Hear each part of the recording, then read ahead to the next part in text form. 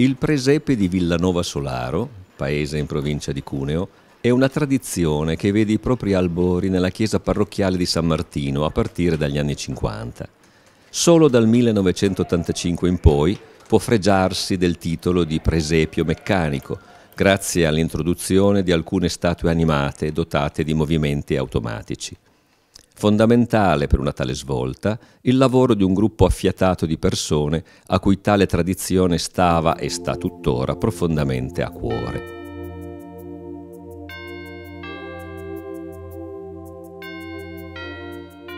Tipico nel suo stile, il presepe di Villanova Solaro diventa così una rappresentazione realistica e dettagliata delle vallate e degli ambienti rurali che caratterizzano questa parte della provincia Granda, dove la tradizione e il folklore cuneese vengono resi vivi dai personaggi animati che nostalgicamente ci fanno rivivere quelle arti e quei mestieri tipici di un tempo.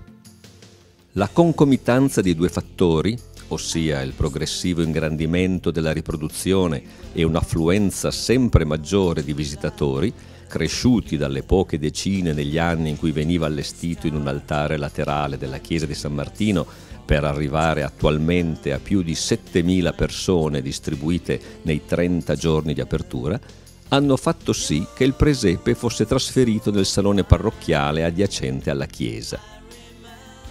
Questi piccoli e autentici gioielli, costruiti artigianalmente dai componenti del gruppo, hanno preso posto all'interno di una rappresentazione davvero unica, resa ancora più originale dall'effetto grotta di partenza il quale pian piano lascia il posto alla prospettiva tridimensionale di una vista immaginaria che si apre al di sotto di un porticato. Nel 2008 Villanova Solaro ha ospitato il congresso nazionale Amici del Presepio, in quanto allestimento scelto come sede di visita da parte dei congressisti, alcuni giunti anche da Malta e dalla Francia. Oggi il presepe di Villanova Solaro occupa una superficie di oltre 150 metri quadri e richiede circa 1200 ore di lavoro serale per l'allestimento a partire dalla seconda settimana di settembre. Senza contare che durante il resto dell'anno i componenti del gruppo non mancano di documentarsi sugli antichi mestieri con ricerche precise e basate su tradizioni orali tramandate di generazione in generazione.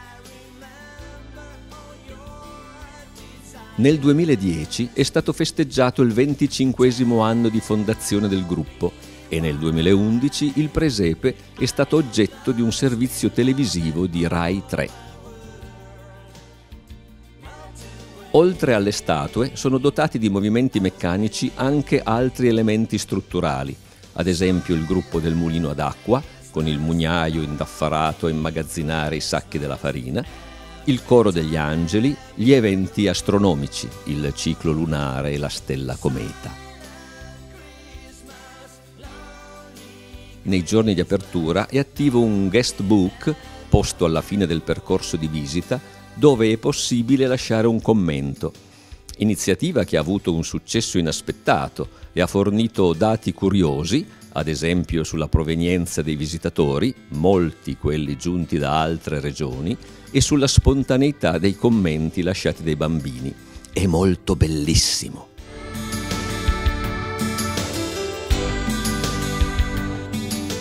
Uno degli effetti più raffinati riguarda la copiosa e realistica nevicata nelle valli alpine, frutto di un accurato lavoro di studio, di progettazione e infine di realizzazione. Christmas, Lord.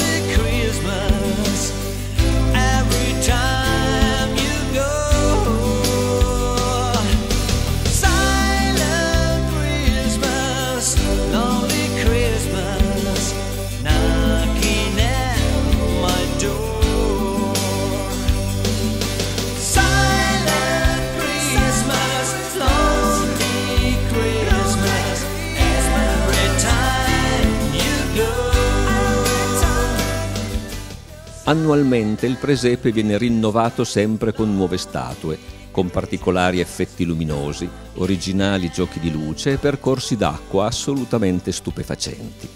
anche la disposizione scenografica è in perenne mutamento.